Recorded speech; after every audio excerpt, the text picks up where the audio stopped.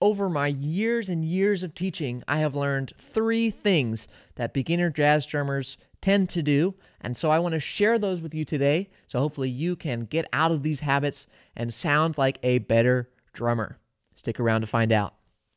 Before we dive in, I want to give you a free PDF that is Jazz Drums The Basics, which will give you an in depth guide as well as uh, the drum uh, parts notated and that'll give you tips and tricks and some concepts so that you can practice and become a better drummer.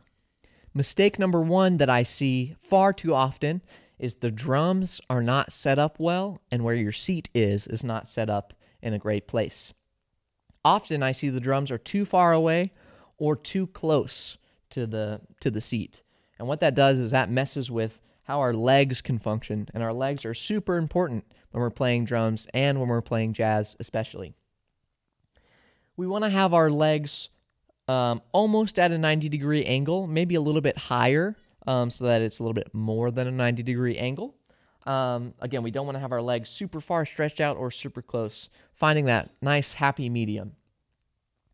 That mistake number one ties into mistake number two, which is that your balance is off, both within your body and the volume balance between the instruments. So many times when I hear a drummer play, I hear this.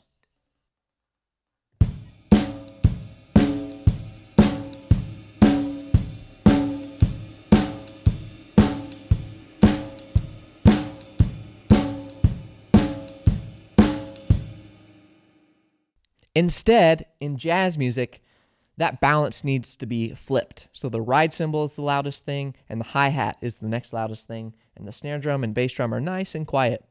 What that means for us is that we're going to feather the bass drum, which is just playing it as lightly as possible, barely even touching the beater up against the head.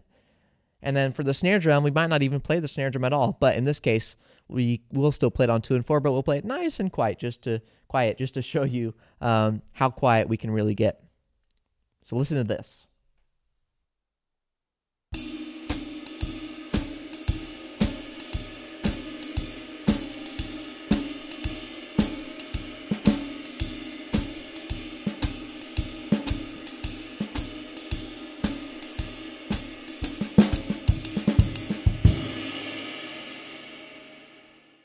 Again, that mistake with the balance ties into number one, mistake number one of how we're set up, right? If we're too far away, our balance is going to be off and we're going to have to be doing this while we play, right? As I'm playing, I'm keeping my body as still as possible. Now, I say as still as possible. What I don't mean is tense, right? I'm still as totally relaxed as I can be as I'm playing.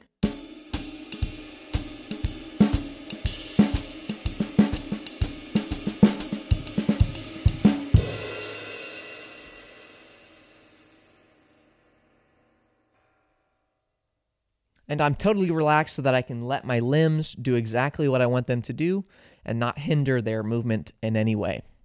Mistake number three is playing the snare drum on two and four. Now, in jazz music, a lot of the playing that we do, if it's um, in a small group setting or even in a big big band setting, um, there's not snare drum on two and four. Often the snare drum is something that complements and um, almost has dialogue with the other instruments. So that might sound something like this instead.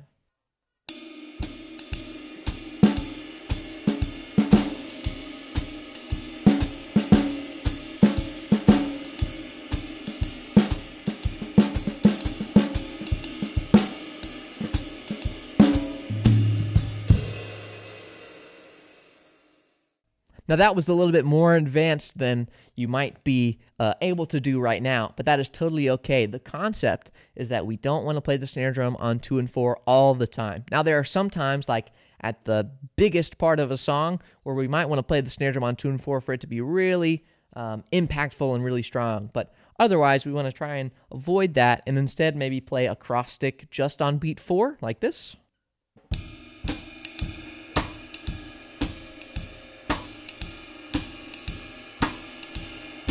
Or on two and four, maybe.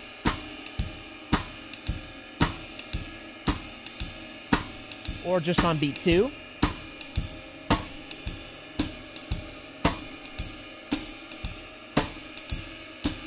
Or we can play the snare drum on the ands. Two and three, four, one, two and three. Here's on the end of four.